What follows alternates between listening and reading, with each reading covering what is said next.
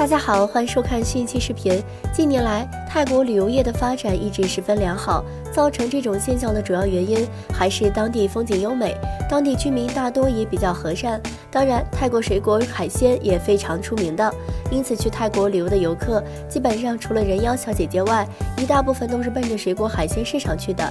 尤其对于中国游客来说，泰国几乎成了出国旅游的首选国家。但前段时间，泰国就出现了一个看起来非常不友好的现象。在泰国许多的水果摊前面，除了泰语标识以外，都纷纷竖起了中文警示语：“水果不要捏，捏了就要买。”网上也有熟悉泰语的小伙伴表示，其实没翻译的内容更过激。但是为了做生意，人家老板也没太张扬，只是表明一下立场。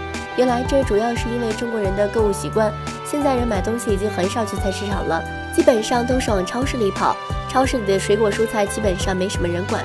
所以顾客们都习惯上去捏一捏，看看熟透了没有。但泰国的水果摊可不是超市，人家老板就靠这几个品相好的展示品来刺激游客的购买欲。最典型的榴莲，你要是上去掐一下，圆润的果肉上面就会留下一个坑，品相差了，价格也是提不起来。这不耽误人家做生意吗？尤其是那些捏了后不买的游客。所以为了表明立场。